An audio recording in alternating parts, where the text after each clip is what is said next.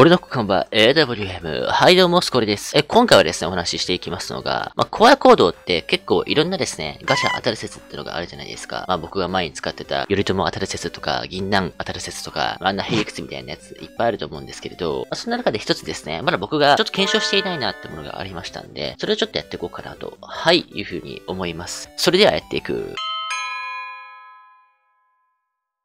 はい、というわけでやっていくわけなんですけれども、えそれがですね、イベント終了間際だと当たる説。これあるじゃないですか。夏の滞在コラボ、まあ残り数日と迫ってまいりまして、まあ終わりかけですよね。まあそんな中で、まあ今回ですね、終わりかけのこの段階、すごく微妙な、まあ課金する人が居づらい、そういうですね、タイミングだと思いますんで、まあ学校が始まって、そしてまあ皆さんもお年玉を使い切ってしまって、今ね、課金してガチャ回そうって人いないと思うんですよ。そういう時って、やっぱり確率がですね、ガバガバになっていると、ガバガバな方がより課金してくれますんで、でまあそういうタイミングで緩和してくるんじゃないかなっていう考え方の方が、まあ多いと思いますんで、このタイミングが一番当たりやすいんじゃないかなっていう風に考えられて、そういう説って蔓延されていると思うんですよね。まあなんで今回は僕がこうやってね、まあ動画としてそちらのテストの方をですね、まあ検証していこうかなという風に思います。まあ最近ね、よくね、なんかそういう単発当たり説とか、ゆるとも当たり説、なんで使わないんですかっていう風に質問されるんですけれど、まあ皆さん分かってるでしょ？ヘリクスだって。僕がわざわざ言わなくてもお分かりいただけていると思うんですよね。まあなんですけれどね、まあその占いみたいな、おまじないみたいなものに、もう一度ですね、店名をかけてやっていこうかなと。店名ではないか。命ではないもんね。はい。とりあえずですね、まあ、その天運をかけてやっていこうと思います。今回ね、お得バッグ使ってないんで、こちらの方を消費して、実際ですね、当てることができるのか、やっていきますね。はい。で早速ね、一番左の方から、このコラボが終わる間際に回して当たるのかやってみます。じゃあ、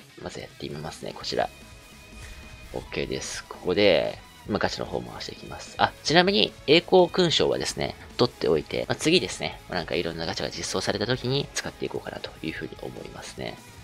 ここで、あ、1個目は、まあ、こんなもんですよね。せいぜいこんなもん。まあ、なんかね、なんとなく思うんですけれど、なんか金枠出そうな感じが僕の中でしてないんですよね、2つ目。ね。なんか出そうな感じないっしょ。全く俺の中で金枠来るっていう感じがない。どっちかっていうと、コラボ終わりかけの方が僕は当たらない印象があるんで、はい。次のね、8個まとまったやつもこれ回しましょう。いや、そういう印象が僕強くて、なんか終わりかけの方が当たらなくないですか？なんかみんな当たる当たるっていう風によく言われているんですけれど、俺はね、そんな気がしていない。うん。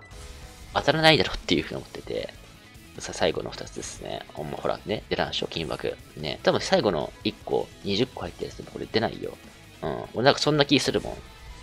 ほら、出ない、ほら。なんで出らんだろう言ったろ？出らんって。うん。あのね、これね、まあ僕思っているのが、うん、まあ終わりかけのが出らんよ。始まっった当初、まだそのガチャの乱数みたいなやつが乱れていない時に回すのが、始まってすぐ回すぐらいが僕はちょうどいいかなっていうふうに思ってるんですよ。結構僕よく金枠当てているじゃないですか。まあ、あれね、コラボ始まってすぐ、まあ、だいたい平日の朝とかにコラボって始まると思うんですけれど、そのタイミングで僕回すんですよね。はい。始まってすぐ回して。まあ、平日朝なんでコラボ始まってすぐでもログインされている方は少ないですね。このタイミングで回すことによって、まんま回す人が少ない分ですね。乱れてないんですよ、乱数が。はい。サーバー側の乱数が乱れていない分、シンプルな結果が出やすいと。まあ、つまりは金額が出やすいという風に、まあ、読めるわけなんですよね。これが僕の最大の当たる方法、当てる方法ですよね。コラボ始まってすぐの方が僕は当たるという風に思っておりますが、皆さんはどうでしょうか？まあ、ちょっと教えていただきたいなという風に思いましたね。はい。はい、というわけで今回もですね、皆さんの疑問や質問にお答えしていこうかなという風に思います。まずこちらですね。スコラさん、それもいいんですけれど、緑マントいつ治るんですかね？と。緑マントね、なんか治すって言っとったのに、治らんすね。治す気ないんじゃないですか？そもそもその緑マントが存在すると、まあ、やっぱりですね、前も言いましたが、マントの最上位が緑マントか青マントっていう風になっているわけです。でも、進撃の巨人コラボって、これ以上、まあそんな多くは打てないでしょうね。多分しないと思います。やっても1回ですね。まあそういった、もうやらないコラボのマントが最上位に来てしまうと、違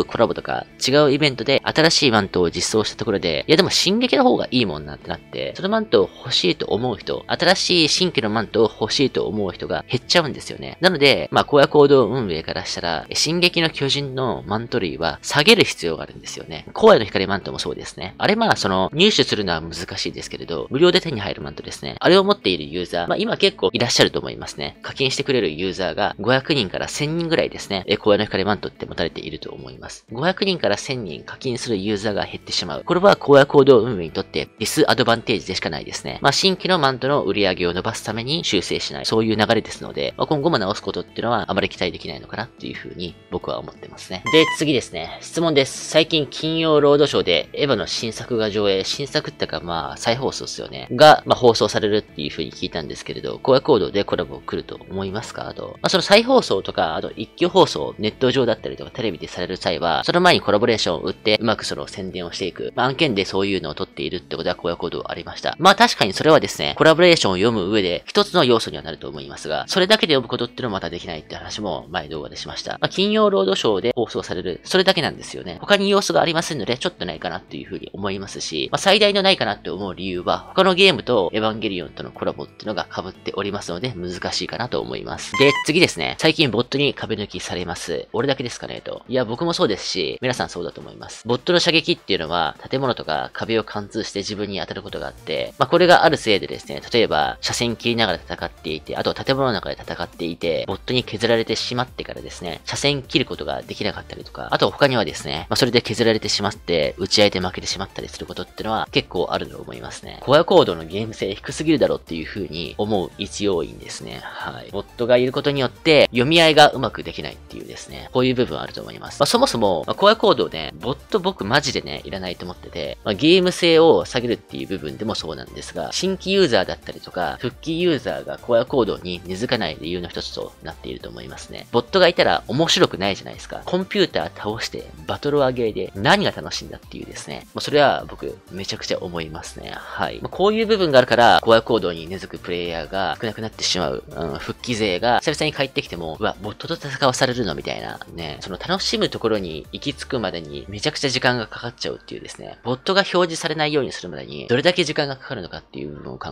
えると、楽しめないんですよ、このゲーム。楽しむところに行くまでのハードルが高すぎて根付かないっていう、そういう一要因っていうのは絶対にあると思いますね。で、次ですね。荒野に課金しようとしてボタンを押しても購入失敗ってなるし、全く反応しません。ちゃんと Apple ID の残高もお金入っています。これバグなのでしょうか？それとも制限がかかっているんですかね？と、初めて聞きましたね、こういうの。ただまあ前回動画でも僕言ったんですけれど、最近ちょっと課金の部分で再びですね、不具合が生じることっていうのが、荒野行動出てきつつありますね。ちょっとこれね、問題かなっていうふうに思いますんで、まあ、他にもその課金の部分におきまして、まあ、いろんなその不具合の被害ですね、被られた方いらっしゃいましたら、ちょっとコメント欄で教えてほしいですね。ちょっとまだ僕ね、データ不足っていう部分と、まあ、スクリーンショットとかもないんで、ちょっとわからない部分っていうのが大きいですから、まあ、動画でわからない状況であだこうだ言っても、まあ、信憑性もないですし、僕自身ちょっと納得できない部分っていうのがあります。僕が納得できないっていうことは、多分その見ている方はより納得できないと思いますので、まあ、その状態で、まあ、あだこうだ言うでも僕は違うと思いますから、ちょっとまあ、情報提供の方ですね、まあ、いただけると非常に嬉しいですですね。まあ、昔はね、そういう補填とか、あと、金券ですね、全然その入れてないのになんか請求されるとか、またあと、その請求されてお金払ったにもかかわらず、金券が実際チャージされていないとか、まあ、いろんな不具合があって、まあ、運営は踏み倒してきましたね。まあ、そういうところに言及してきたのが僕ですし、まあ、これから先もそういうことがありましたら、まとめていきたいと思っておりますので、皆さんご協力よろしくお願いします。